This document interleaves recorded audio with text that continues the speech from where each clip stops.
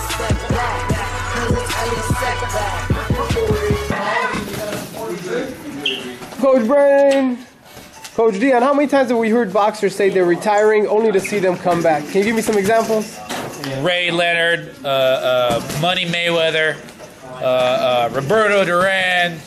Um, I don't know. It's a, it's a long, long, long list. It don't even work in fiction because even Rocky retired in the movies and then ended up coming back. So, you know, that's just, just part of boxing. People don't actually retire. What did you say? Quitting boxing is like quitting cigarettes? Well, when these fighters come back and, and, and like uh, Mayweather after the Gatti fight and his, his retirement and then his comeback, we didn't really retire. That's like saying I, I quit smoking cigarettes three times.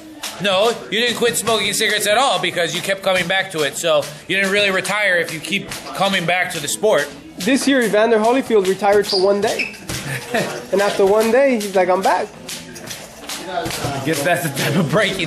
That's the type of trading break he needed. Even Mia St. John told me she was thinking about retirement, but fighters, it's very hard for them to just say, you know what, I had enough, I'm walking away from Of course, it is completely understandable. Look, your whole life, you train and fight for something to get to a certain level, to get to a certain productive level.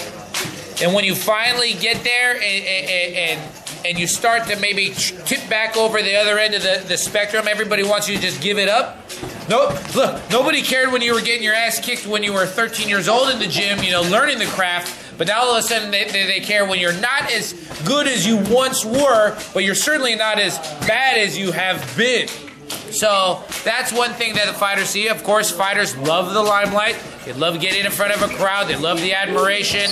You know, this is athletes in general. Athletes reward centers are a little askew from the general population. And here, how about this?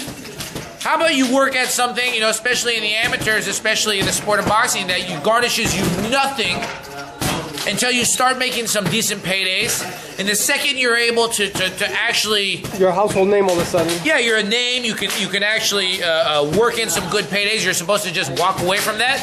You know what? Because one time you made three million dollars, that means you're not supposed to fight for seventy-five grand. You know, I mean, it's still a lot of money. It's still a lot of money. So I understand why fighters do it, and it's a business, and it's prize fighting. Do you think there are any fighters today you think should retire? if we're talking about like for for health reasons or things like that you know you, you feel bad watching some guys go past their prime and getting hit but they're they're they're grown adults capable of making their own decisions uh, uh, I love the sport of boxing. Um, I don't feel like necessarily they need to be saved from themselves. The commissions require them to pass tests and, and, and prove competency and, and, improve their physical worthiness. And, and um, look, a, a, professional athlete that's de- dedicated their life to this sport, they, they get to make the call, not me. There you have it, Brandon Krause. Stay tuned. 2013 coming up will be a big year. PSReport.com and Laserback reporting. reporting.